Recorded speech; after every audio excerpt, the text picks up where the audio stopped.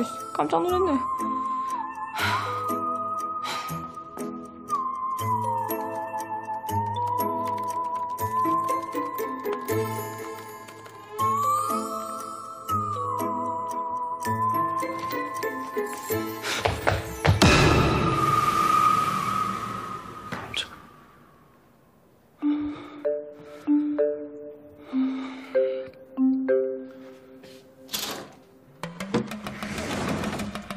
거기서 뭐해요, 다미 씨?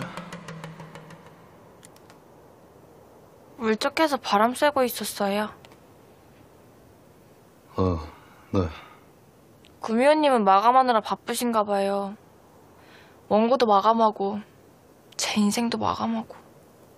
저기 다미 씨, 아니 내가 뭐 얼마나 세게 쳤다고 그걸 바로 튀어나와요? 에?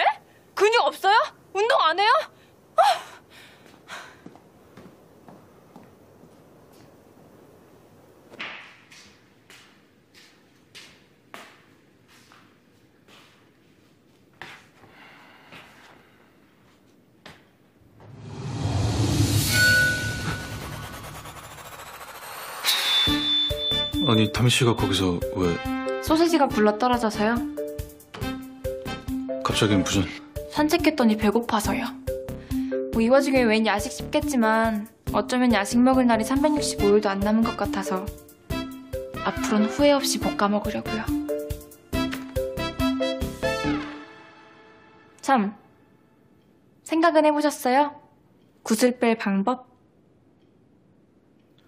아 그게 그 얼른 생각이 나야 할 텐데.